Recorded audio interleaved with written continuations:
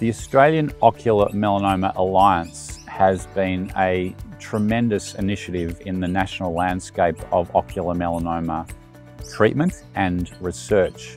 Through this group, we've been able to attract new clinical trials of new treatments into the country and to roll those trials out to as many patients as possible.